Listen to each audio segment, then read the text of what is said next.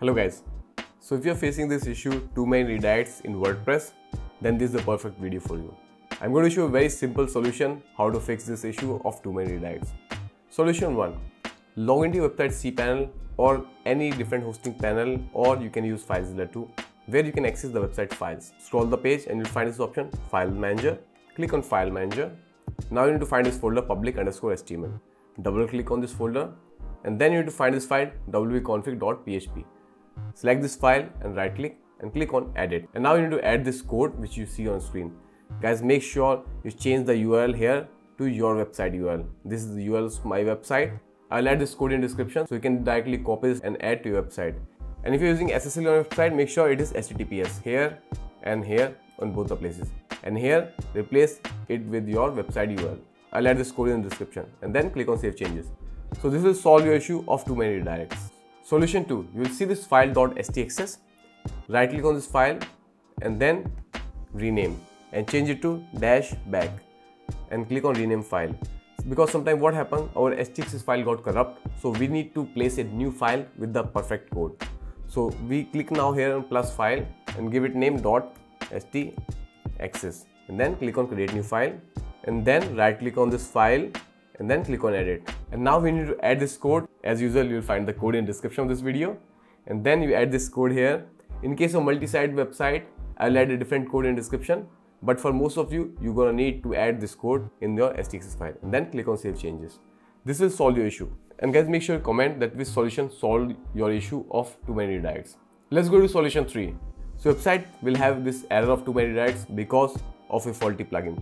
In that case log in inside cpanel or filezilla and then find this folder wp-content click on this folder and find this folder plugins. What you need to do is right click on this folder and then click on rename. And now give it a name dash back and then click on rename file. I'm not going to do this because it will deactivate all the plugins on my website but in your case you need to do this that will deactivate all the plugins on your website.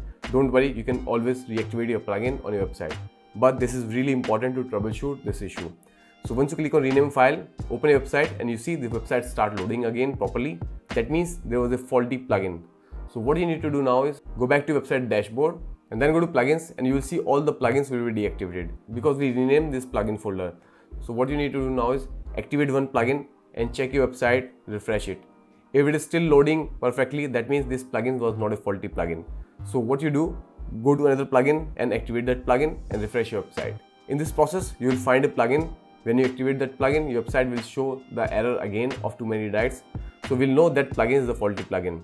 So keep that plugin deactivated. You can go back again and rename the folder to deactivate all plugins and this time do not activate the plugin which is breaking your website. Solution 4. This issue can happen because of your browser corrupt cookies. So what you need to do is open your website in a new browser. For example, I recommend to open in private browsing mode. I'll use Microsoft Edge. Right click on this icon and new in private window. You can use any different browser and then try to open your website. If it is loading perfectly, that means that issue is because of your browser cookies. So go back to the corrupt browser and then click on three dots or these three lines. Then go to settings and then go to privacy and security. Scroll the page. You'll find this option clear data. Guys, make sure you use this option at your own risk because this might get you signed out of website and this might make some website to load little bit slow but they will be loading normal after that. So once you clear this, your website starts working in the corrupt browser. Let's go to the next solution.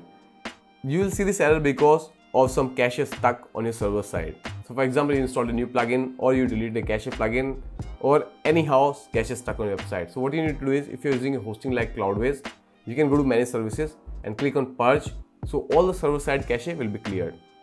If you're hosting like it hosting, Hostinger or hosting which you use LiteSpeed hosting, you can search here cache and then you'll see this option LiteSpeed Web Cache Manager. And then scroll the page click on flush all. This will delete all the server side caching. If you're also using on the website log into website and then click here on purge cache. And then one more time purge everything. And then one more time click on purge everything. That will clear the complete cache from the server side.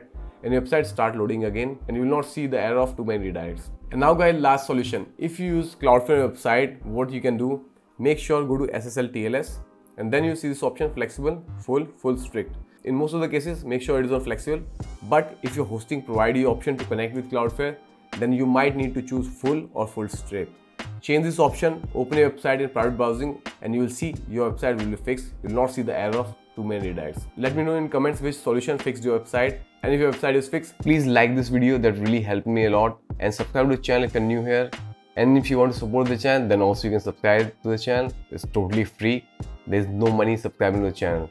And guys, please share this video with somebody. If you want to watch more videos on website error, check this video on screen. And if you want to make your website super fast, then check this other video on screen.